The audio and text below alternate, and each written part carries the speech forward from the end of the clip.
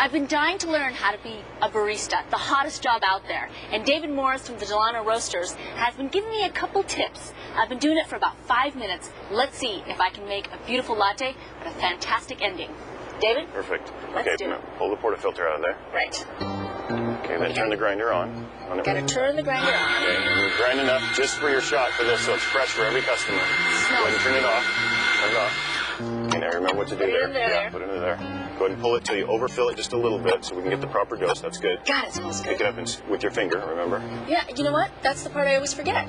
Perfect. What's up with that? That's about 18 grams of coffee. Then set it down while you're tamping.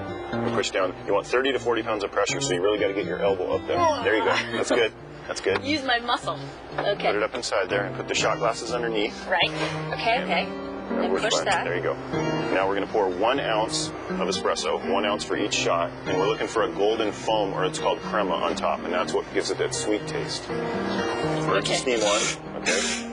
Then go ahead and take the pitcher, and remember, put it all the way down, All the way down. all the way down, so you don't burn yourself like that. Now turn it all the way on. Okay. You want the That's adding air to the milk. And you only do that till about 100 degrees, which is about right there. And you go like this. And now, now you're swirling the foam and the milk together for that creamy consistency. Okay. So you can pour the fancy design on the top of the cup.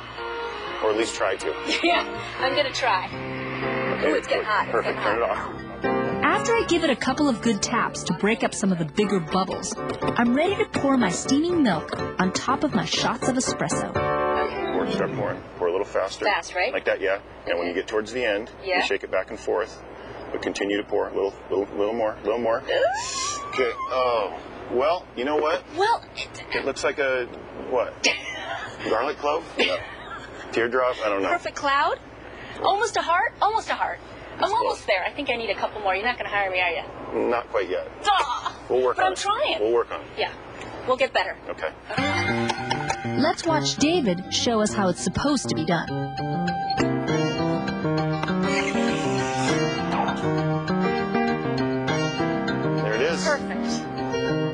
I decide to give it another shot. Keep going. Keep going. Keep going. A little faster. A little faster. And towards the end.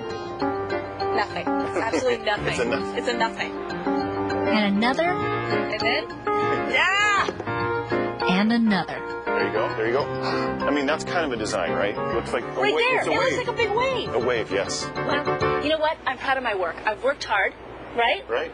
There's a latte art contest around the corner. Okay. What do you think? I think if they judge you on enthusiasm, I think you got it.